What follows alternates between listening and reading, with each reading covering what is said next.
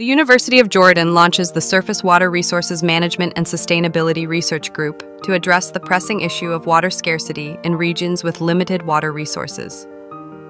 With a focus on ensuring sustainable water availability for growing populations and minimizing conflict among sectors, the group aims to develop advanced hydrological models for river basin analysis, improve water use efficiency for irrigation and domestic needs, and manage the balance between water supply and demand.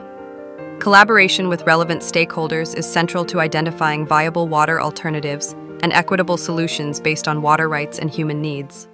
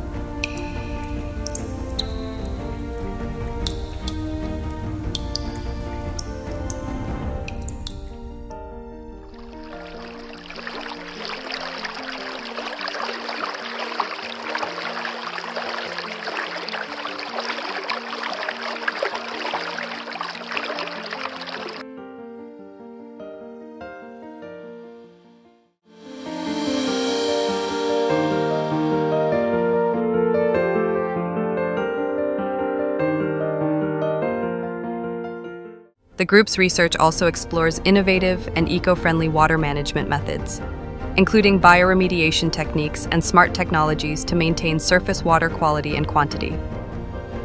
In addition, it investigates the long-term impacts of water quality on ecosystems through detailed analyses of natural water properties and environmental pollutants.